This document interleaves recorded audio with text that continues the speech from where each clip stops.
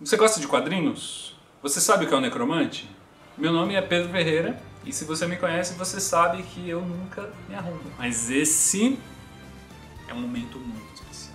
Você já conhece o Postmortem? O Postmortem é a história do Ara, um necromante que está viajando em busca da sua família. Os necromantes são magos que conseguem controlar os mortos como se fossem marionetes mas o custo disso é alto. A energia gasta para controlar os mortos é o próprio tempo de vida do usuário. Então, cada vez que o Aran usa a necromancia, ele se aproxima mais da própria morte. A história começa no volume 1, quando o Aran encontra um guia que vai ser bem importante na jornada dele.